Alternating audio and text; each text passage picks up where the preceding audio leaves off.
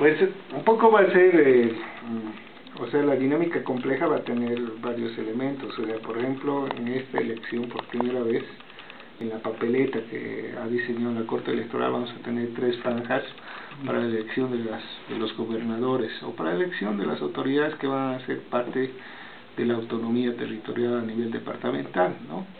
Se elige por simple mayoría al gobernador, ¿no? Uno puede marcar por Julanito en una de las franjas, pero al, mismo tiempo puede marcar, si se quiere, o sea, en la misma franja para el diputado, para el asambleísta departamental con base territorial, que normalmente en seis departamentos van a ser con base provincial, o sea, por una provincia va a haber un representante territorial.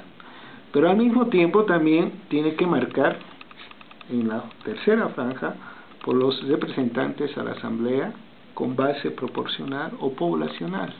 De acuerdo a la población del departamento, se va a establecer o se establece un número de asambleístas que van a ser elegidos en la tercera franja.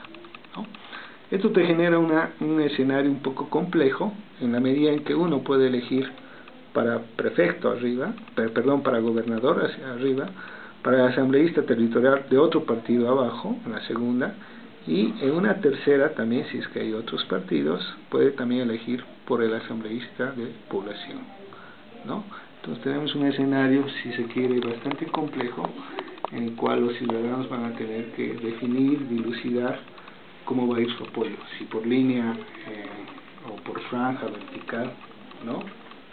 coherente, o bien puede distribuir eh, sus votos de acuerdo a su preferencia.